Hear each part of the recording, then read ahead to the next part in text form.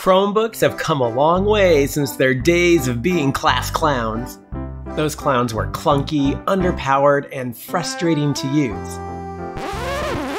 Now, modern Chromebooks can be the teacher's pet. They participate in class, complete all assignments, and are ready to help out whenever needed. This is the Chromebook Flex 5i, an affordable Chromebook sent to me by Lenovo. I'd like to show you the settings I positively have to customize right away when moving into a new Chromebook. I first turn up the screen brightness. No need to strain my eyes trying to see the screen. Screen brightness affects battery life, but this Chromebook has plenty of life. My eyesight isn't what it used to be. I increased the cursor size, making it easier to see on the display. I also change the touchpad speed. I like my mouse to zip pretty fast across the screen. I'm used to reverse scrolling, so I change the scrolling direction. Now, dragging down on the trackpad with two fingers scrolls upward, like what happens when you pull down on a touchscreen. I prefer my computer to lock when I walk away from it. When I set up the Flex 5i, it asked me if I wanted to turn on lock to leave. If I move away from my computer, the screen will lock automatically. Now, I do set it so that I can enter a PIN instead of having to type in my ridiculously secure Google password. If I don't turn on lock to leave, I can use the keyboard shortcut of the launch key and L to lock the screen. I can unlock by touching the fingerprint reader. Yes, this Chromebook has a fingerprint reader. The Chrome extensions I have already installed on another computer follow me to the new one.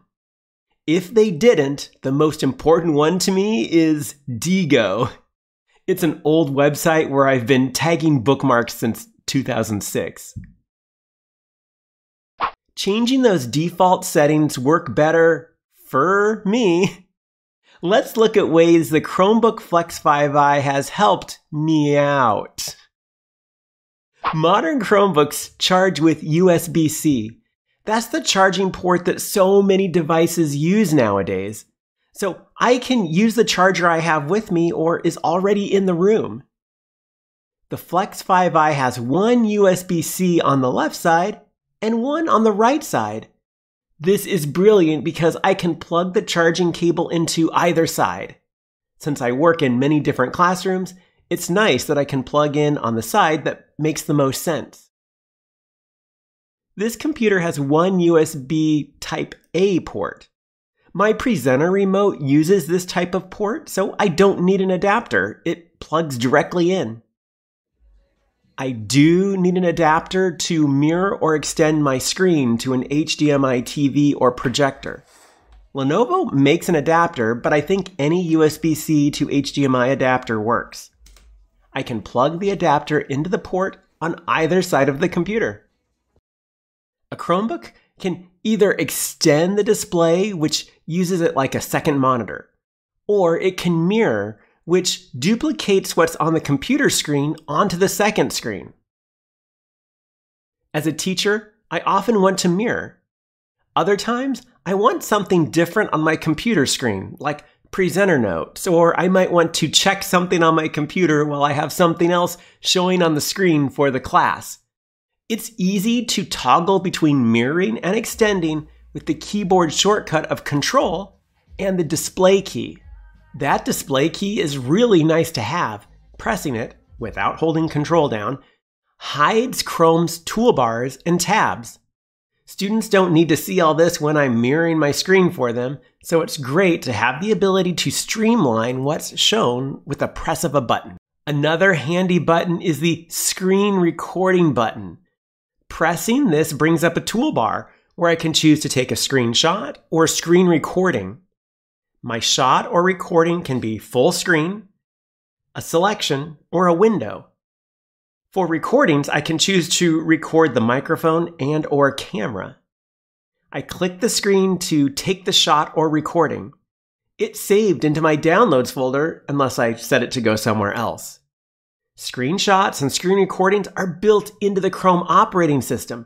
No extension and no app is required.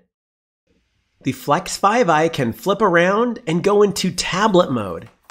And the Flex 5i can use Lenovo's USI Pen for precise writing.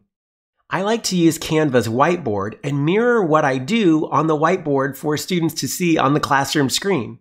It has an infinite canvas, so I can zoom and scroll and never run out of space.